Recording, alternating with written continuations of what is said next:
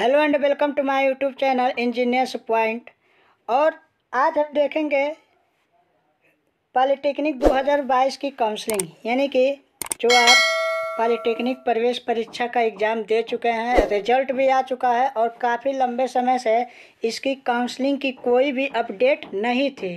तो उसी की अपडेट के बारे में चर्चा करेंगे कि आखिर कब से हमारी काउंसलिंग शुरू होगी ठीक है, यूपी पॉलिटेक्निक प्रवेश परीक्षा की काउंसलिंग कब से शुरू होगी?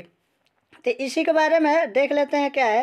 तो देखिए जी कब काउंसलिंग डेट 2022 का इंतज़ार कर रहे सभी परीक्षार्थी के लिए एक अच्छी खबर यह है कि विद्यार्थी पॉलिटेक्निक प्रवेश परीक्षा 2022 में सम्मिलित हुए हैं और साथ ही काउंसलिंग के लिए जो योग्य हैं, जो परीक्षा में सम्मिलित होगा, उन सभी का काउंसलिंग तो होना नहीं है। ऐसा नहीं ना जो एकदम दो नंबर पाएगा, उसकी, उसका भी हो जाएगा।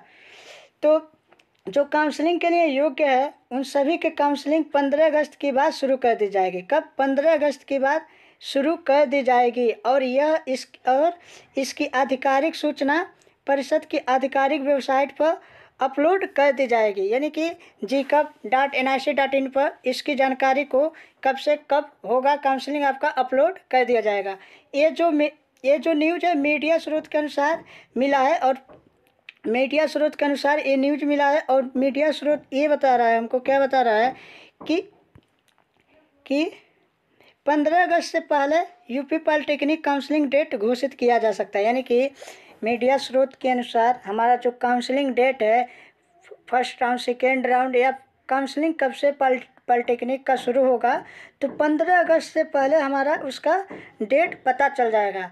तो अब ज़्यादा दिन नहीं बचा है तो देख लीजिए, आप लोग अच्छे से अपना काउंसलिंग कराइएगा। और ये चाह, और ठीक है, बस इतना ही। धन्यवाद।